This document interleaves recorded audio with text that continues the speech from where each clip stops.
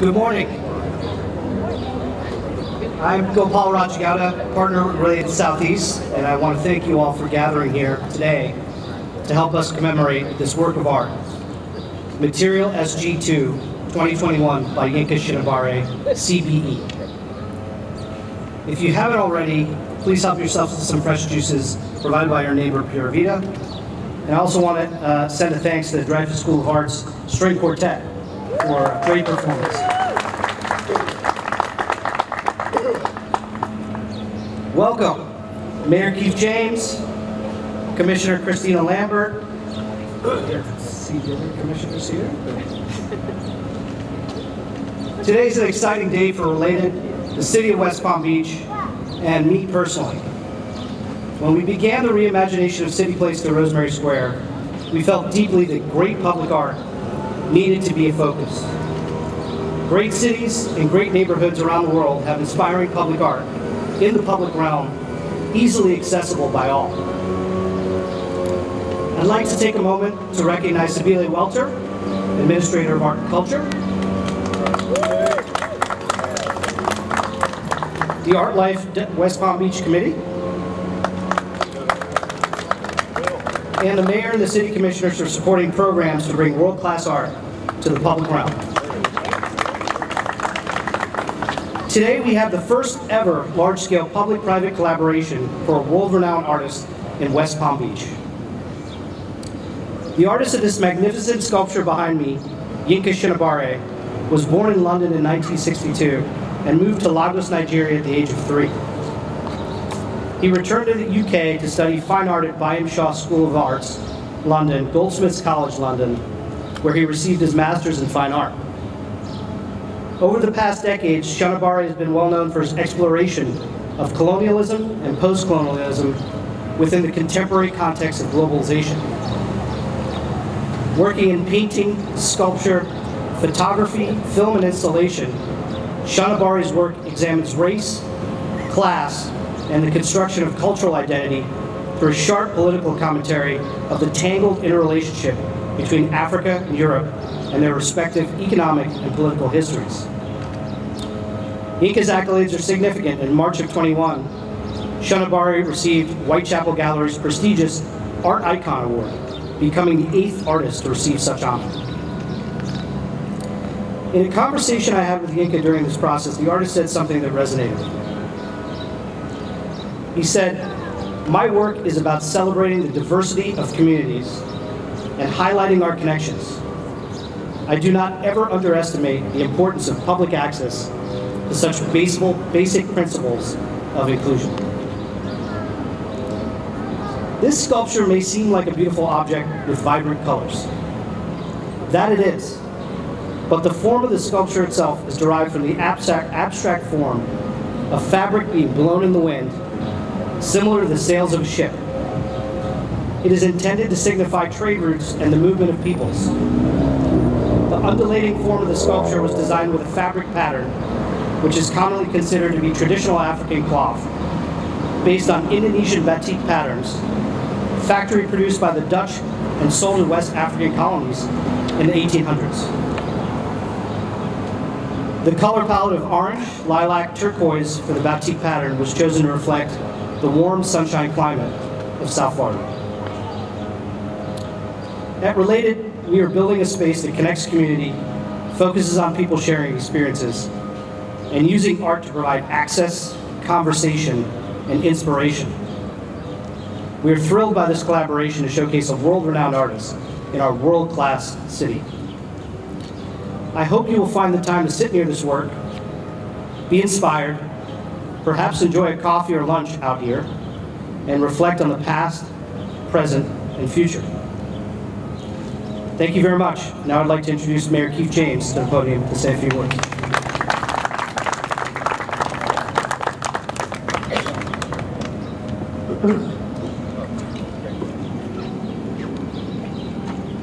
Thank you, Gopal. Um, good morning, everyone. Morning. Morning. You guys know the deal, right?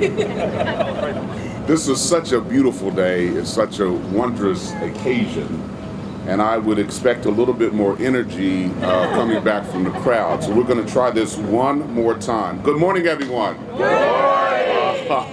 That's so much better, so much better. Thank you, Gopal.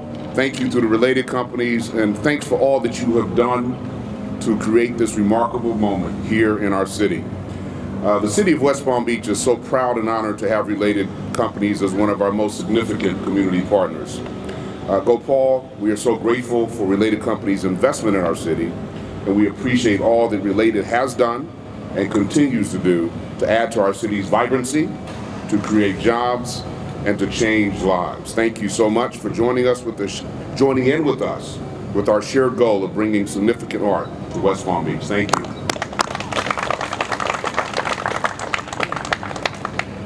Before I continue, I wish to acknowledge ArtLife uh, WPB committee members who brought this project forward. I see Phil there, there may be others, uh, and Sibylle will introduce you. Uh, but thank you so much. And of course, uh, the West Palm Beach City Commission. Um, I only see one member of the commission here, so she's going to get all the accolades. I said I only see one. That's you. Okay? You get all the accolades. Thank you, Mayor. Um, the commission has been incredibly supportive of the city's public art initiatives, and if you will join me in a round of applause for Christina Lambert. this is a standing ovation for you, Christina.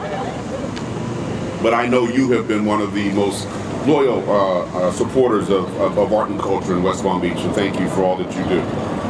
Uh, additionally, I want to recognize uh, Yinka Shonibare, uh, unfortunately, Mr. Shonibare is not with us today, uh, but nevertheless, we are so grateful to him for sharing his incredible gifts, talents, and intelligent creativity in the design of this exemplary artwork. You know, I didn't know the full story behind his work until you mentioned it, Gopal, but it is so consistent with what we are doing here in the city of, of, of inclusive growth and building a community of opportunity for all. So this artwork is even more special uh, because of his uh, philosophies. Um, so as Gopal mentioned, uh, Mr. Shonibare's uh, Material SG2 sculpture is from his wind sculpture series, which explores wind shifting through fabric. Other examples from the series have been acquired by the Smithsonian's National Museum of African Art, the Royal Academy in London, and other prestigious museums for installation outdoors in public spaces. The commemoration of Material SG2 is a remarkable occasion for our city for several reasons. With this commemoration, our city adds to its public art collection with its first public installation by a significant world-renowned artist. To have the work of one of the world's best-known contemporary artists on permanent exhibit right here in West Palm Beach is nothing short of extraordinary. In fact, it greatly adds to our city's significance as a destination for art and culture.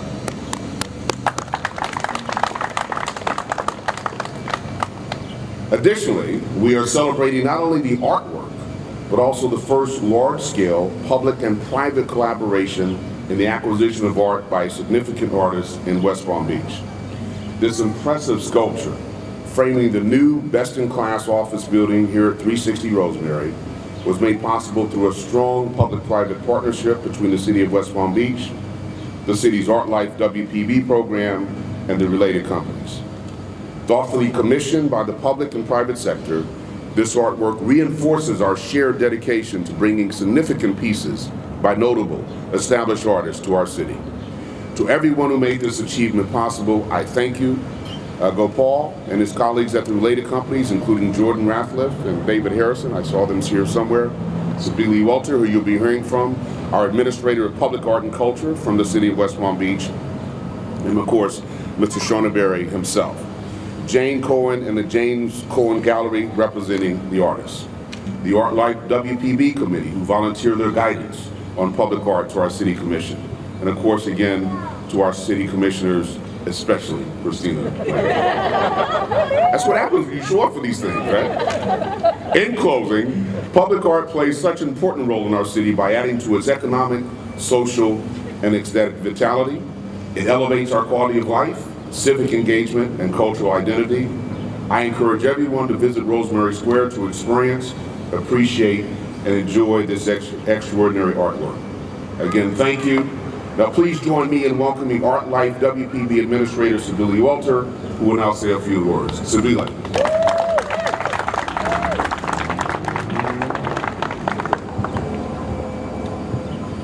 Good morning. I'm Welter. Morning. Nice to see everyone. So, thank you, Mayor James. The Art Life West Palm Beach Public Art Program seeks artists that are making relevant work and who are committed to a significant, ongoing, and impactful art practice. With this in mind, Yinka Shonibare's Materials SG2 is a perfect fit for our city at this time and place. Prevalent in Yinka's work are issues of racial, national, and cultural identity, and how we understand those identities within the context of globalization. For the last 25 years, Yinka has been incorporating the colorful batik fabrics into his works. The fabrics, originally manufactured by the Dutch in the 19th century to appeal to an Indonesian market. However, West African tribes adopted them so pervasively that it is now commonly believed that they originated there. Shonibare's use of the batik designs is a metaphor for the fluidity of contemporary global and cultural identities. The artist's ongoing message is that communities are built by individuals from different backgrounds and places, and that we are all hybrids of a multitude of cultural appropriations. Formally, what makes this public artwork stand out beyond its multiple layers of meaning is the illusion of fabric captured billowing in the wind. Materials SG2 activates the space around it with its impression of movement, it is visually, spatially, and conceptually an impressive work. And to date, it is the city's most influential permanent art piece. It is also a perfect analogy to our growing city. Colorful, dynamic, and engaging. A community made up of people from many cultures. Shonibare's work is a reminder that our diversity should be celebrated and embraced. This project fulfills Art Life's core values that public art fosters the appreciation and understanding of fine art and has a direct impact on quality of life. Further, it underlines the importance of cultivating purposeful partnerships that allow for artworks of this caliber to be part of our cityscape. Lastly, Art Life champions artists as vital contributors to our cultural and civic life. It always begins with the artist. So thank you to Yinka Shonibare, and thank you Related, and to all who made this possible. Thank you, each all of you, for here, for supporting the tremendous value that public art affords our community and visitors. Materials SG2 is for everyone to experience, think about, and enjoy. Thank you for your time. Can I say one more little thing? Today at 9.30, I'm happy to announce that the Art Life WPB will be on Instagram. So come follow us. We start with Yinka. Follow, follow, follow. Thank you. now I have the honor of introducing Dahlia Perryman, who will help commemorate the artwork with a poem about community. Dahlia is an internationally published visual, performing, and literary, literary artist, activist, and advocate. She uses art to facilitate dialogue, bringing light to issues and healing to communities in trauma and crisis. She's trained 30,000 law enforcement officers, state trainers, mental health professionals, and students nationwide, including survivors of mass shootings at Sandy Hook Elementary in Connecticut, Aztec High in New Mexico, and Marjory Stoneman Douglas in Florida, and is currently working on a dual continent, refugee-led community arts advocacy project. She considers her art she considers art her service to the world and is honored to be here with you today. Dolly.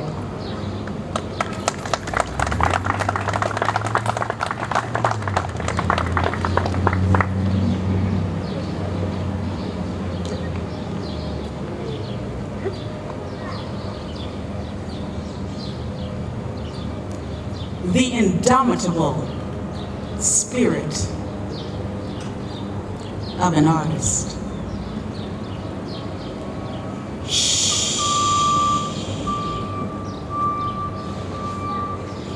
Can you hear it? No, seriously, can you hear it? Listen. this is what it looks like when an artist fights for culture, for rights, for justice, for life.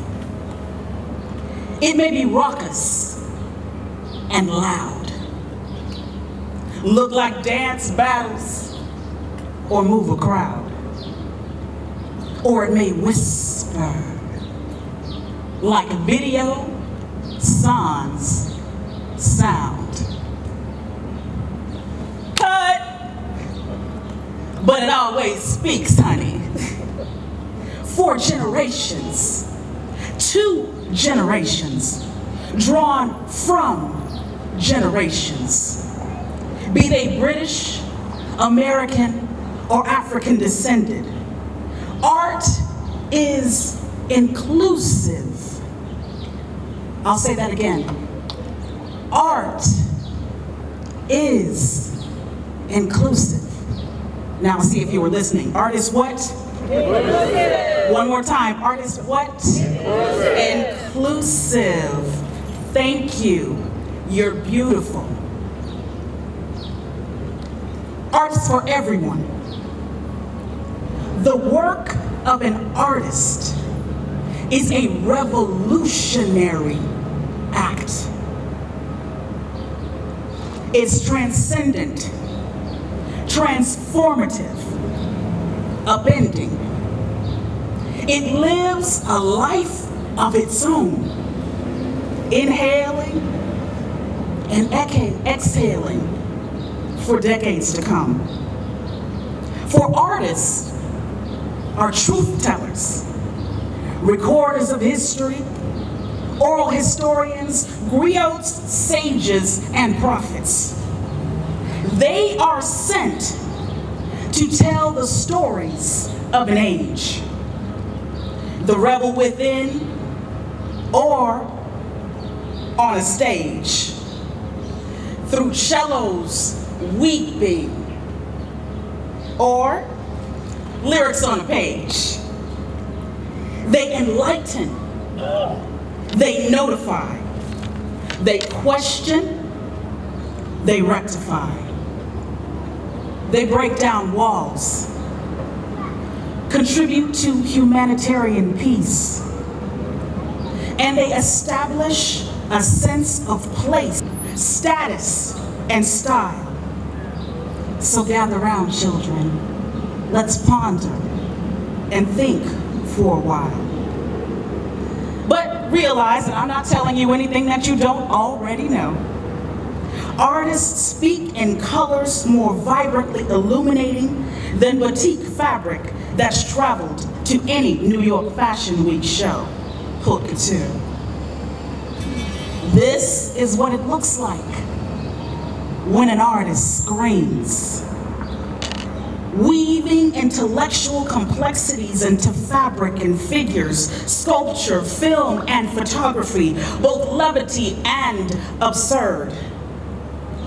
Ahem.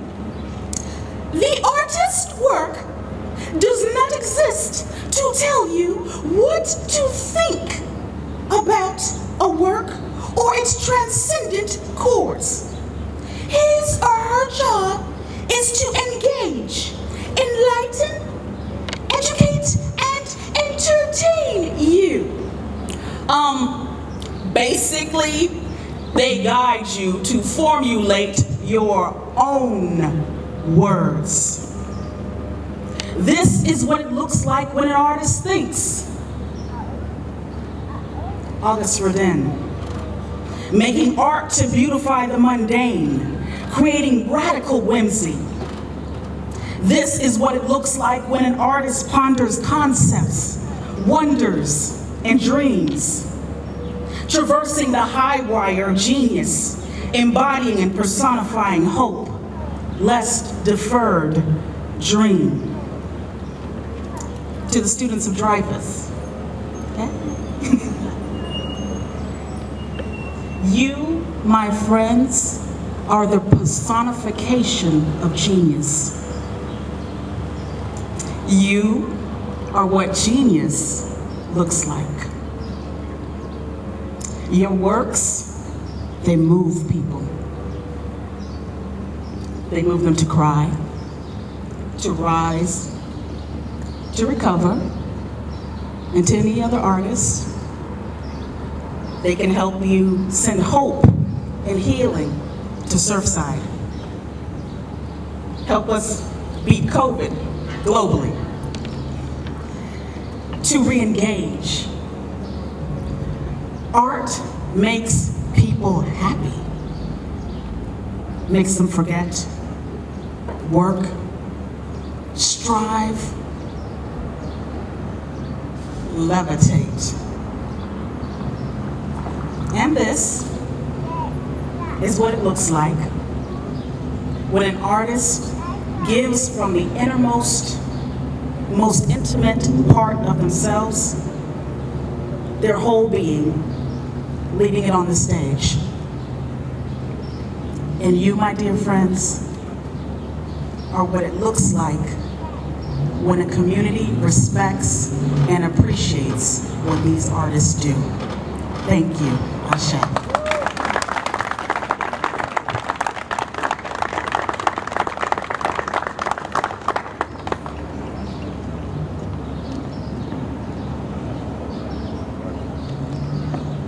Thank you, Dahlia, for sharing that moving poem with us here today. Uh, please be sure to pick up a scarf that was created using the pattern uh, of the sculpture before you leave. And um, this concludes our ceremony for today. Thank you very much for joining us today on this uh, special occasion.